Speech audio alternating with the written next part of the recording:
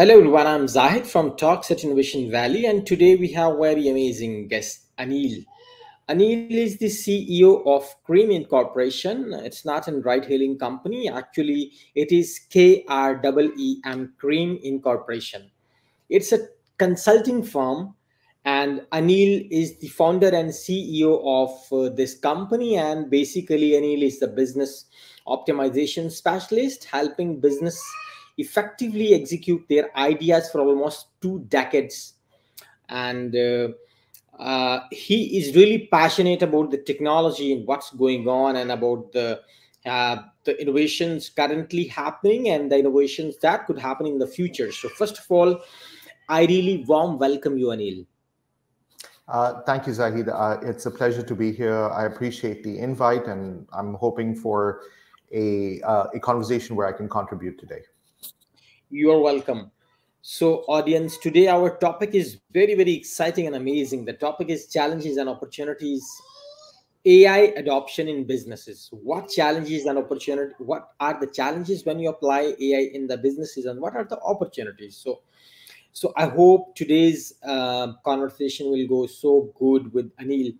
So, Anil, before we jump to the questions list, I would request you to share your life story, your career story, your professional story. I mean, when you started, uh, I mean, your professional career, and even before that, from where you got your education and how you decided to, you know, become a consultant and and launching your own company, and how was all this journey from your school to university to this professional career to be to being an entrepreneur? Uh, well, I am. Um, I was born in the Philippines to a entrepreneur in an entrepreneurial family. My my father had uh, a garments factory uh, that he ran out of um, uh, the Philippines, and so I grew up all, all over Asia. Uh, he started off in the Philippines. He moved over to Hong Kong, Indonesia, um, uh, looking for places where production or manufacturing would be cheaper. Um, after a certain age, I just decided that I wanted to kind of explore and go out and see the world by myself. Um, that that took me further in my travels.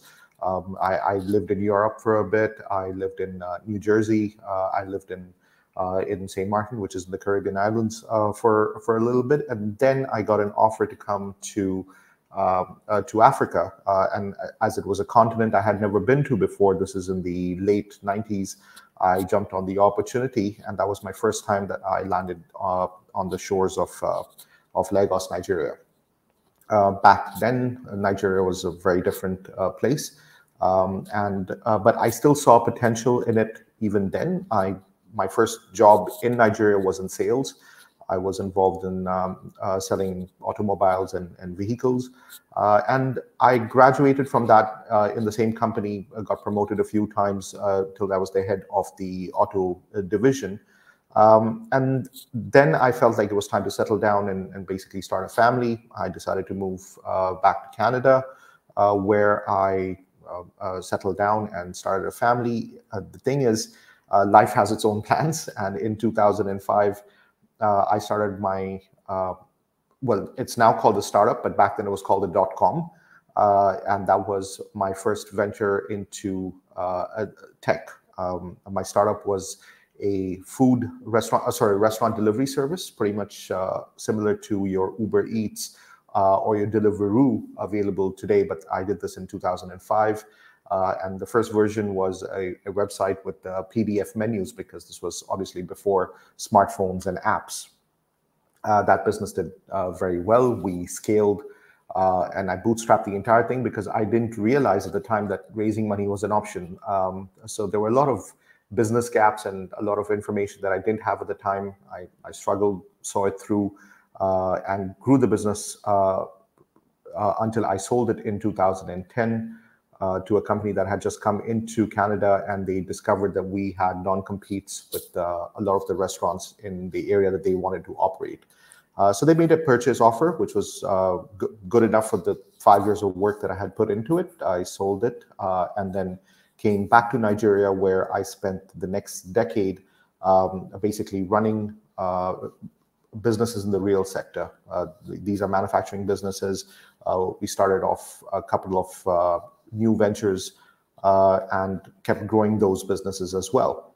then around 2000, I think about two two years ago, we decided to sell those operations uh, and I decided to move on. Actually, my the business had decided to sell the, the business operations, and I decided to move on. Uh, and then the question was, how do I apply these skill sets uh, in the current context? And because I believe in the tech uh, segment in Nigeria, and I see it as a rapidly growing and evolving space, I decided that I was going to take my real life experience uh, uh, of running businesses in Nigeria, which are very specific problem sets and apply them to my tech knowledge of uh, how I got my startup up and running and take a mix of that and apply it in the tech uh, segment over here in Africa. So that pretty much brings me to my journey up till now, and that's what I'm currently doing. All right. So inspiring. So Anil, uh, can you please provide an overview of the current state of AI adoption in the businesses and industries?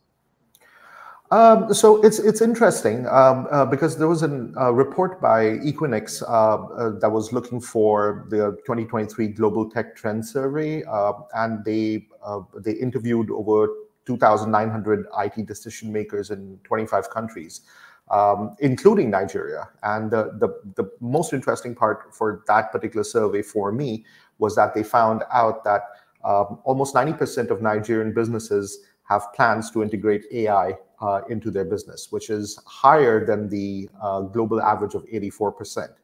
Um, uh, the, the report also concluded that it found out that um, Nigerian businesses are most likely to use AI for customer service, that's about 75% and about 63% of them were going to use it for fraud detection.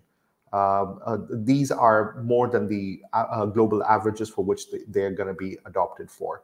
Um, so the, the report basically attributes the high adoption of AI uh, in Nigeria to a number of factors, but the primary uh, reason is the country's young and tech-savvy population, its growing economy, and the availability to uh, to these technologies today. All right. So anil uh, what are some of the key benefits that businesses can gain uh, from implementing ai technologies in their operations and decision making processes uh, so the ultimate goal uh, we all hope is to basically increase human efficiency, right? We we all want to be able to 10x or 100x our capacities uh, and the ability to apply it, uh, uh, apply AI in the context that it stands today is purely limited by our imaginations. I, so, or so I feel. Um, I have seen tech, this tech that is AI specifically being applied to uh, reduction of cost, uh, you know, uh, the ability to improve decision making, new product development, fraud prevention. so yeah, it's definitely there. There are a lot of benefits, and as we continue to explore them, we would be finding out the limits of, of how much this can be applied across. All right. You rightly shared that AI adoption is often seen as a way to improve efficiency and productivity. Right. But the, uh, can you please share specific examples of how AI has achieved uh, this in real world business scenarios? Can you share, like, you know, some use cases or some case studies on this? Oh, absolutely. So, so let me talk to you from a global perspective because the adoption is still, uh, you know, at a very infantile stage in in in Africa. But from a, a global perspective, um, I mentioned uh, the the reduction of cost. So there was this article uh, that highlighted uh, Walmart um, uh, as a global chain, uh, and it's using AI to optimize its inventory uh, so that the holding cost of uh, of materials that they have to keep on their stock uh, shelves is is lower. Uh, that's that's a brilliant use case for uh, the the reduction of cost in improved decision making. the the example that comes to mind is, um, um, and I'm sure you would have probably heard this like at least five times in every conversation that you've had about AI. the AI CEO of uh, of Dragon Websoft. Um, uh, Tang Yu, if I'm not mistaken, is the name. uh, and uh, who was appointed as the AI CEO of this uh, gaming company. And for the period of time that she was performing as the CEO and making analytical decisions, she actually outperformed the the Hang Seng Index, which is the stock ex exchange index of of Hong Kong. So that that is a case study for you know improved decision making um, for new product development. In June, uh, this was one of the first uh, uh, cases that I'm aware of that uh, Insilico Medicine began clinical trials uh, on a drug that was completely developed by AI. Uh, and again, for fraud uh, prevention, uh, there are a few case studies in, in Nigeria that that are trying to adapt this. But really, the one that stands out that has the most amount of brand recognition is J.P. Morgan Chase uh, they use uh, AI to detect fraud and improve their risk uh, management processes.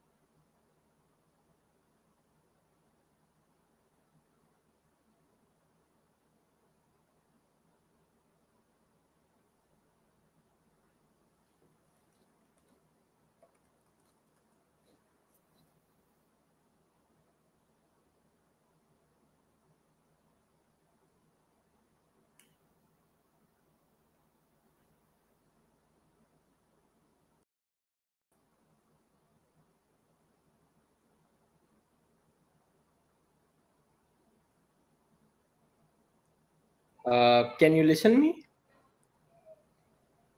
Hello? Hi, Zaid. Did I lose you? Yeah, I think there was some problem in network, but um, yeah, let's resume the con. Okay. All right. Uh, did you get that last answer, or do you want me to, uh, yeah, to take I think, another shot at it? Uh, let's, let's yeah, I think let's repeat that answer so that we don't miss. Uh, as you okay. told that it is you AI is used majorly for improving efficiency and productivity. But you were mm-hmm. use you are sharing some kind of you know uh, use cases and case studies, successful use cases. Yeah. yes. So uh, I was mentioning that I would like to use the case studies that are uh, based internationally because Africa is still in the very early stages of adopting this tech, uh, the technology. Uh, so I mentioned the uh, reduction of cost. Um, the case study that comes to mind is Walmart. Uh, Walmart very effectively uses it uh, to optimize their inventory so that their holding cost on on stock items is is lower. Um, on improved decision making, the the thing that comes to mind is um, uh, Dragon Websoft. Uh, it's a gaming company based out of Hong Kong that at some point last year, if I'm not mistaken, decided to install Tang Yu, which is an AI CEO at the helm of their company. and for the period that they monitored the progress, uh, Tang Yu, the, the, the AI CEO, outperformed uh, the, the Hang Seng index, which is the, the stock exchange uh, index of Hong Kong. Uh, so that just shows that there is a case study for improved decision making uh, when the CEO is available 24 hours a day uh, uh, in real time and can review data as it comes in and make uh, dispassionate decisions. Um, in June this year, when we're talking about new product development, Insilico Medicine began clinical trials on a first fully generated AI drug to reach human clinical trials. Uh, this is for a lung disease. Uh, this is the first time in, in history that that has happened. And uh, one of the things that is happening very frequently in, uh, in Africa uh, is that uh, AI is being used for fraud uh, detection and prevention, uh, which is basically a page of uh, JP Morgan Chase's book about because they pioneered using AI to detect fraud and improve their risk management processes.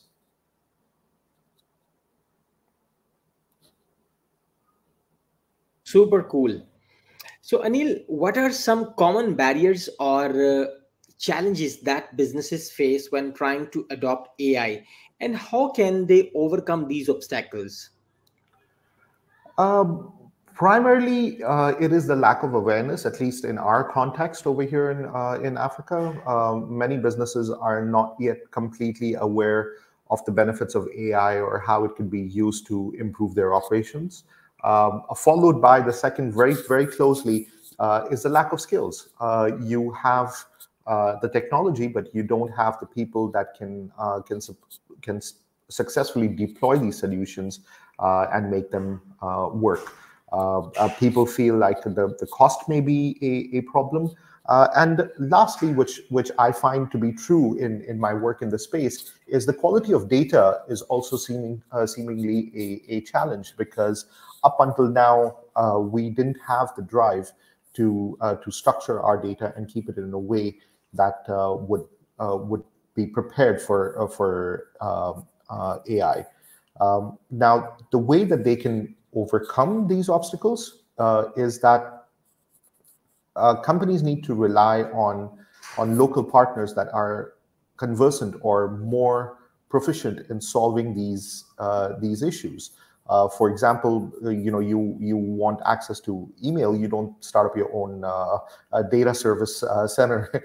you you sign up for Gmail. so it would it would be best for these companies to work with with a local partner uh, for instance, there's this company that uh, in Nigeria uh, that that's called Analytics Intelligence, uh, and they offer a PLLM service, which is, uh, for lack of better words, imagine ChatGPT, but in this case, the ChatGPT is a expert in all things relevant to your company based on your data in a uh, secure environment, um, and you can present it uh, complex uh, questions uh, based on your company's performance, and it provides you a solution right there and then. So you would work with a partner like that, for instance. Uh, you would educate your yourself and your team about AI. Uh, and more importantly, I think you, you need to start small. And you, you know, once you're convinced of uh, the application and you're convinced of how it works, then you can now, uh, you know, presume to scale it. All right. So Anil, you know, data is often considered the lifeblood of AI how important is data quality and availability for successful AI adoption?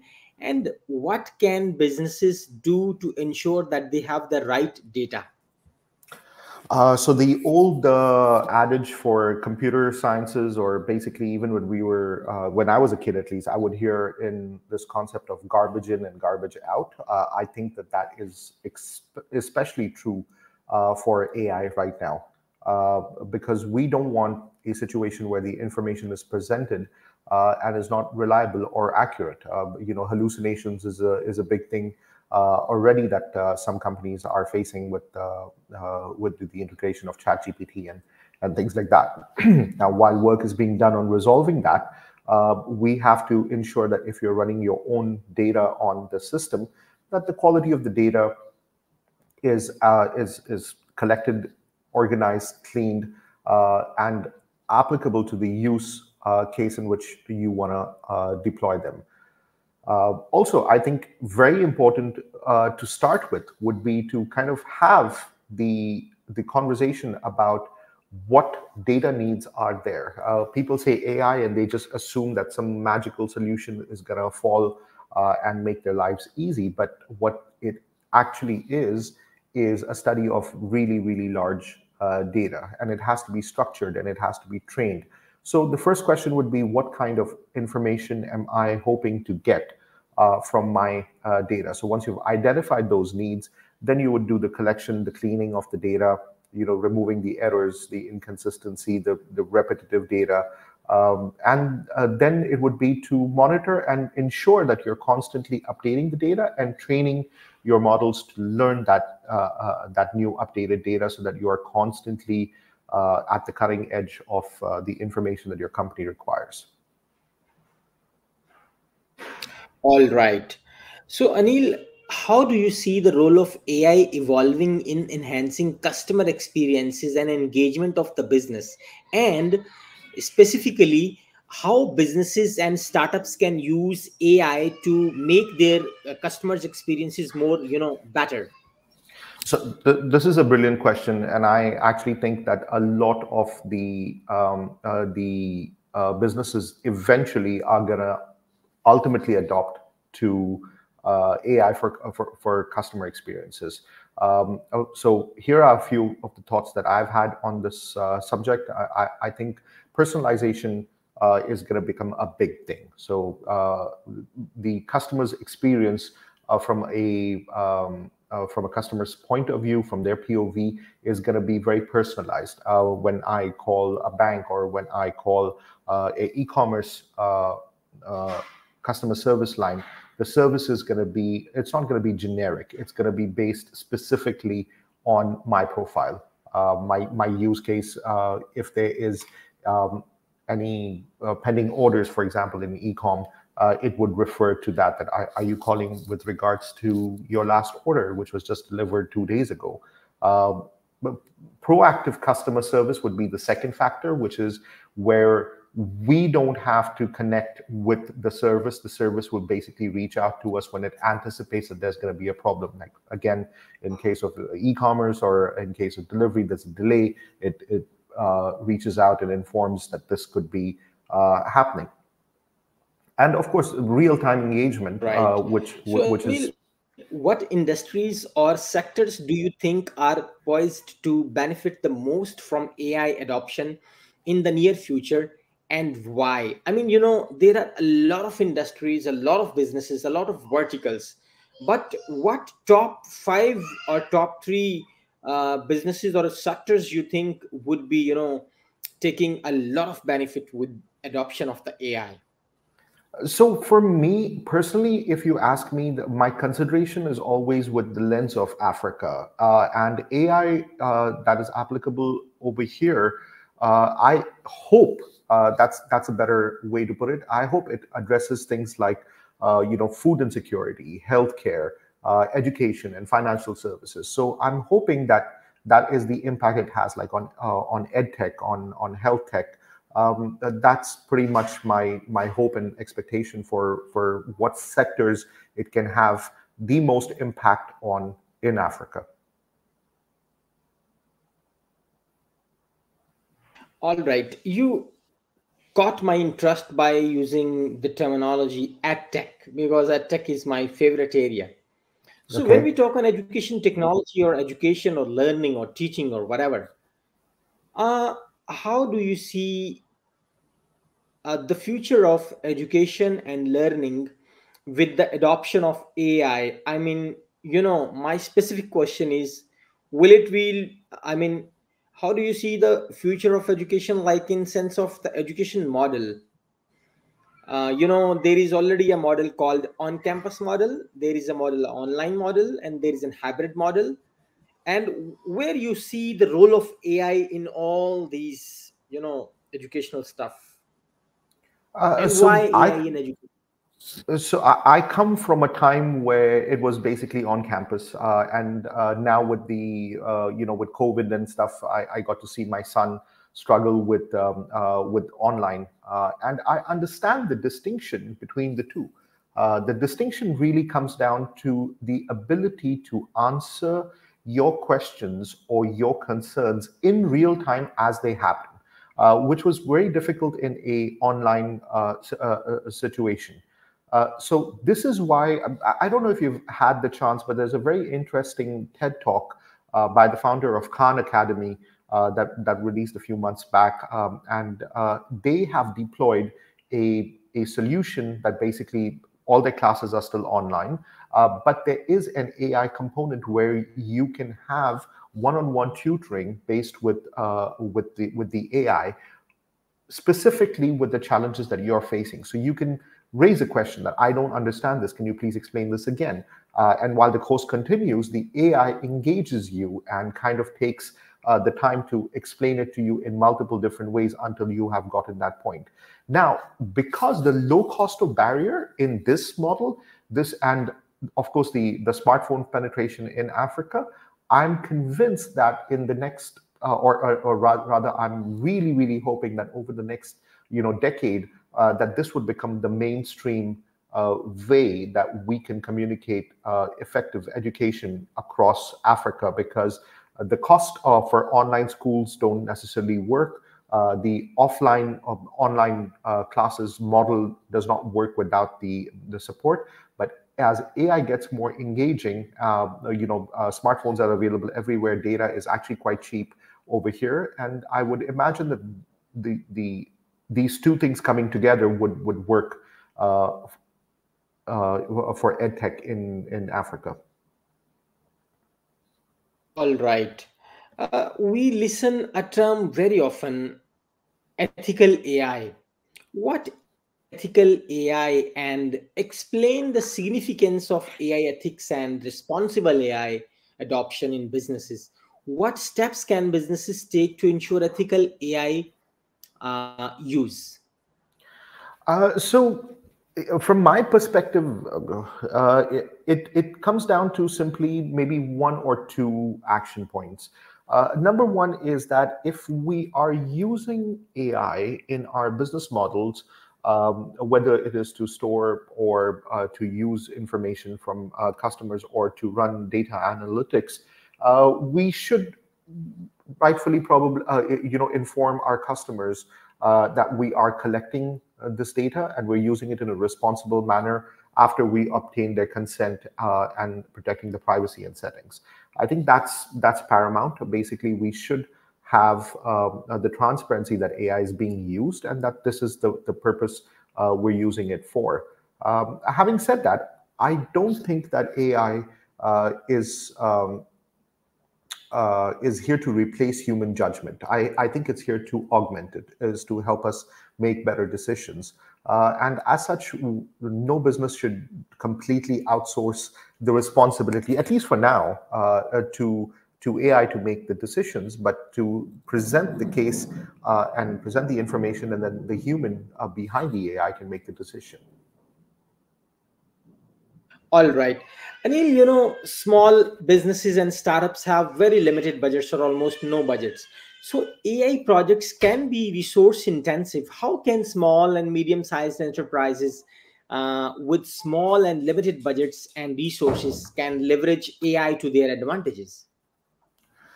Uh, well, as is with any technology, I, I definitely believe that this is going to get cheaper over uh, time. Uh, anytime there's a new tech in the market, uh, the cost, the initial cost is always high, but as time goes on, it always leans towards becoming cheaper and cheaper. Uh, so that that's one of the things that is going to happen, and it's it's going to get rapidly accelerated with with AI just because of the virtue of the product itself. Uh, but for companies, uh, I said this earlier, I'm going to say it again, uh, start with the pilot project. don't be over ambitious. you know, don't commit your large financial resources to a project. Start small, measure your results, you know, whatever your parameters are, and say, okay, this is what we expect. don't be afraid to experiment. And, and once you have the result of that in a sandbox environment where you have uh, uh, tested and you are certain that it works, you know, in the in the in the right uh, manner, then you can now say, okay, go ahead and, and make the investment choices from that point on to scale the the the, uh, the, the, solution. All right, uh, Anil, you know that all the game is of excuse me, all the game is of data so when we see, you know, Europe has a very comprehensive data privacy law called, I guess, GDPR. So when we see the data privacy and, uh, you know, this is very critical a topic. And when we see, you know, protecting the sensitive data and ensuring that AI systems are secure, how do you see the role of government and uh, in in view of the policy and how do you see the role of the big tech corporations how the data could be you know really really in safe hands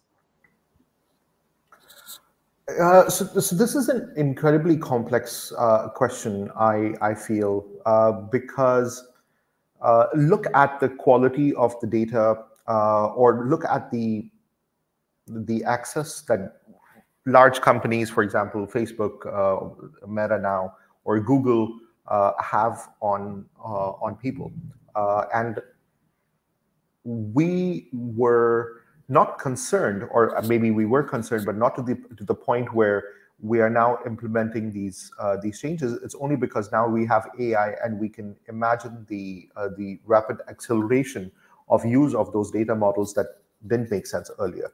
So, uh, unfortunately, I think that this is a question that is better posed to policymakers that are much smarter than I am. Uh, but uh, I would say that uh, we all have a a um, a responsibility to ensure that we manage our data or we keep our personal data uh, you know out of the the hands of, of companies uh, that uh, are not um, transparent about their application or the use of uh, of how that data is going to be so this goes to my earlier question that or, or, the, or your earlier question sorry that uh, how do we hold companies responsible? Well, they need to have the transparency that we're using your data, and then we can now, as users, make the decisions ourselves whether or not those data uh, uh, should be shared or not. All right. So, uh, Anil, you know, I am really, really enjoying this conversation because this is really, really insightful. And since you have a two decades of experience, that's huge. And I guess um, our conversation will be so so uh, beneficial for all the you know new entrepreneurs uh, who are thinking to adopt ai for their businesses so keeping in view anil what advice do you have for business leaders and decision makers who are considering ai adoption but are hesitant due to perceived barriers or uncertainties um you have to start. If you don't start, you're going to get left behind. Uh, AI is here now. Unfortunately, you know the, the genie's out of the bottle, so to speak. Uh, there is no way that this is not going to impact every aspect of human life uh, over the next, uh, you know, five to ten years uh, significantly. So it's it's it's important that we understand that we have that limitation. Start small uh, start with you know data infra, uh, your infrastructure. Partner with an ai expert because not everybody is completely familiar with what is happening in in the space um, educate yourself uh, and and your your team there are companies out there that actually provide trainings to ceos um, uh, and middle management so that they understand the impact of AI on their businesses.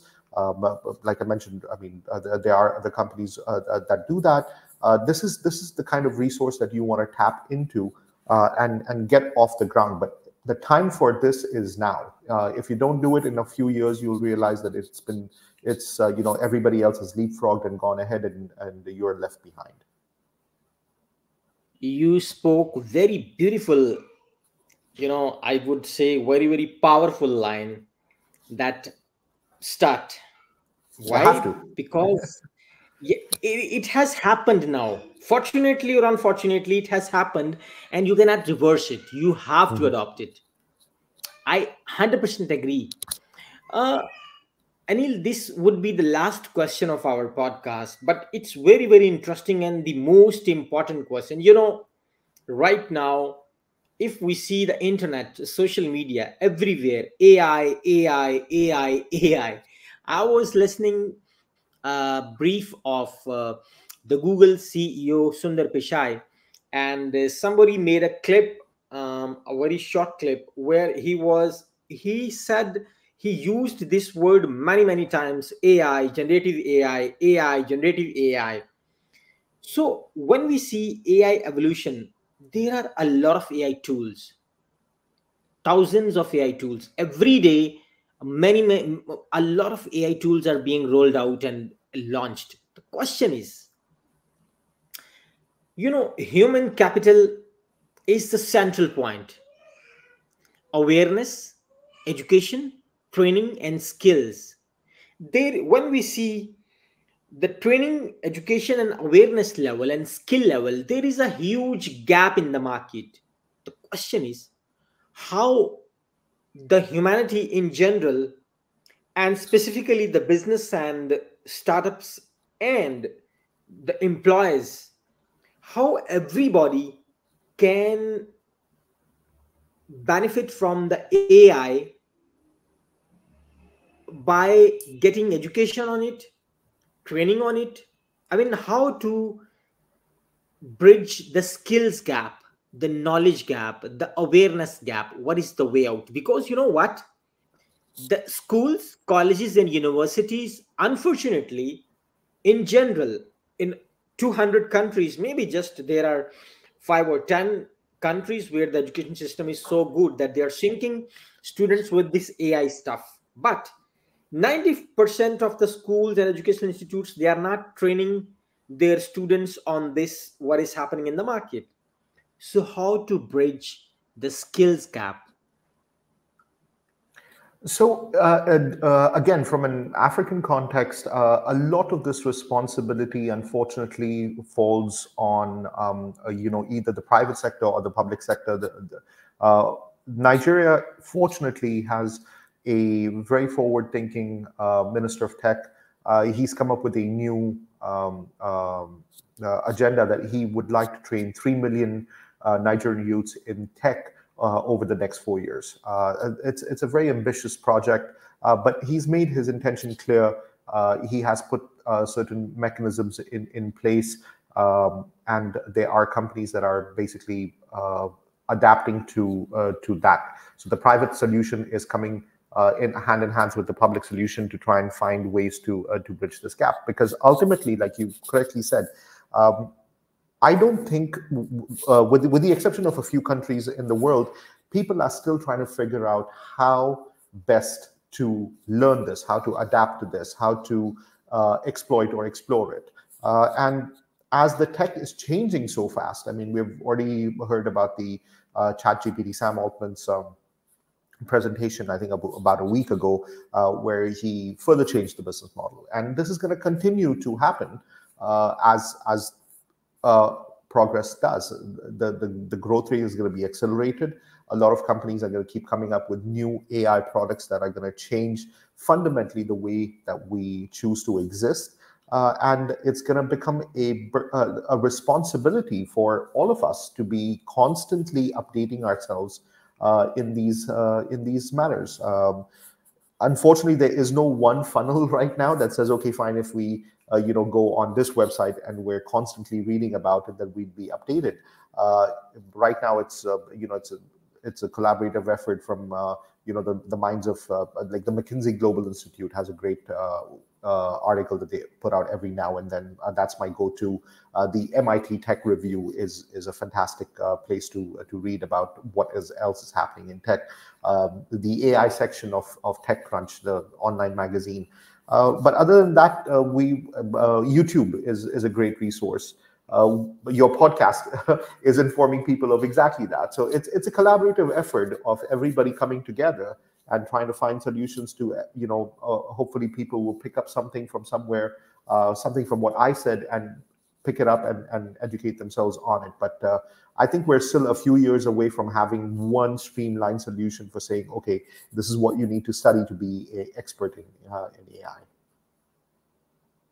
right uh, Anil, thank you so much for joining, and it was really, really super amazing and insightful episode uh, with you. So since uh, my the audience of this podcast is you know university students teachers startup entrepreneurs and uh, you know a lot of business community and many many maybe the scientists too. So what advice would you like to give to all of them? Any inspiring message? Anything you would like to share with the audience? Uh, pretty much uh, what uh, I told you before we started recording is that um, uh, what I told Sam Altman when I had the opportunity to meet him uh, when he had come to Nigeria uh, is that for better or worse, the world has now changed. it has changed forever, and we cannot go back to the way that we were. Um, I'm an eternal optimist, so I believe the world is going to be better off. Uh, and I believe that AI is going to be a part of being able to take us to that next uh, level. So it's here. We should adapt to it as quickly as possible. We should learn from it as quickly as possible. Uh, and there are opportunities being created every single day in this space. And before uh, uh, the search was a thing, Google became this trillion dollar behemoth because of that. Those opportunities are being presented again today in the AI space. We should take advantage of whatever opportunities come our way.